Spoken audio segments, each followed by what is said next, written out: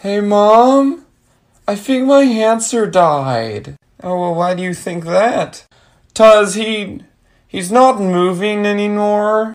Oh, well, what happened? Well, I threw him against the door. You did what? I threw him against the door. Why? Well, I thought he could fly.